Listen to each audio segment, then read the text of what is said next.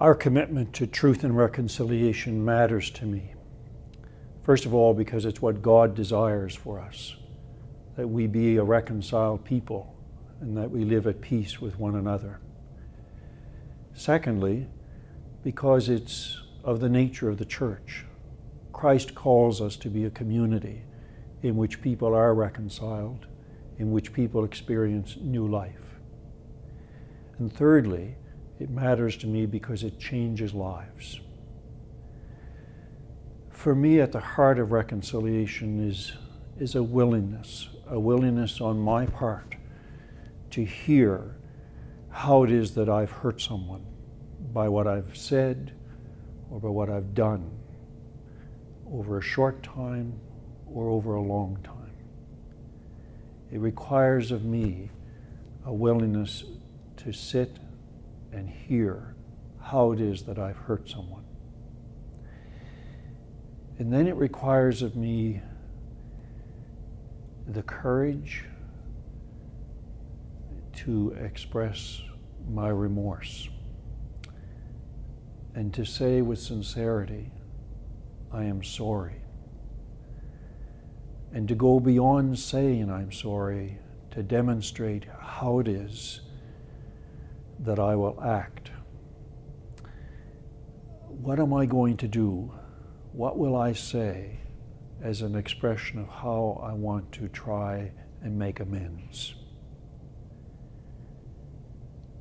And when I've done that, it seems to me I just have to be very quiet and very patient as I wait for the other person to accept my apology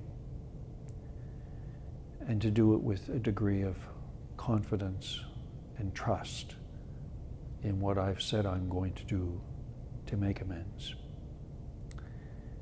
I need to be prepared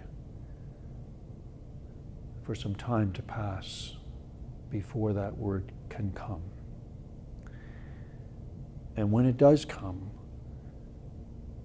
then I hope that together we can find some kind of a gesture that expresses the newfound peace that we've discovered, or more appropriately, that God has given to us in that sacred moment.